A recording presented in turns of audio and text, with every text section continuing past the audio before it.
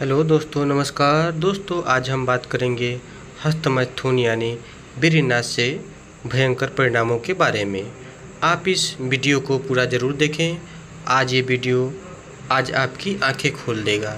जिस क्रिया को आप मज़े से करते हैं, जिस क्रिया को आप वास्तविक रूप से करते हैं, उसके कितने भयंकर दुष्परिणाम हैं और हो सकते हैं और आपकी ज़िंदगी को बर्बाद कर सकते हैं, यह आप बिल्कुल ही नहीं जानते होंगे। तो दोस्तों, वीडियो चालू करने से पहले मैं आपको 10 ऐसे परिणामों के बारे में बताने वाला हूँ, जिससे आप सुनकर दंग रह जाएँगे। नंबर वन बीरनाश करने वाले लोगों का शरीर कमज़ोर हो जाता है।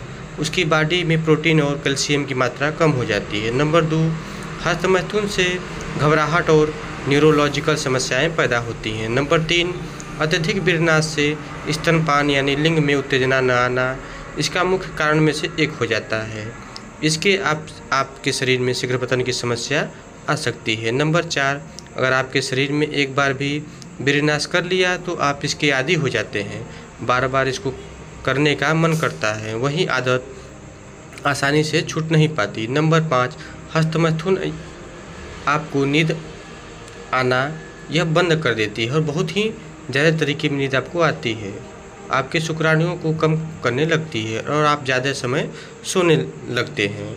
नंबर छः, यह आपके दिमाग और अस्थमा में तनाव और खिंचाव करने का कार्य करता है। नंबर सात हस्तमैथुन हमें मनोविज्ञान रोग से भी प्रभावित करता है। नंबर आठ हस्तमैथुन आपके शरीर में स्पर्म काउंट को कम करता है। स्पर्म काउंट को कम होने से आपको संतान जैसी सुख की प्राप्ति नहीं हो सकती, उससे आप वंचित हो सकते हैं। नंबर नौ, हस्तमैथुन आपका बहुत ज़्यादा समय बर्बाद करता है और आपके अंदर ही अंदर आपको खोखला कर देता है। नंबर दस, हस्तमैथुन अधिक समस्या पैदा करता है। आप अपनी आदत और विचार करने की क्षमता खो देते हैं, जिससे आप बहुत ज़्यादा परेशान होने लगते हैं।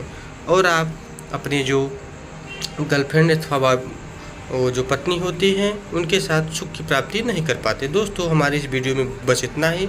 मेरे चैनल को लाइक और सब्सक्राइब ज़रूर करें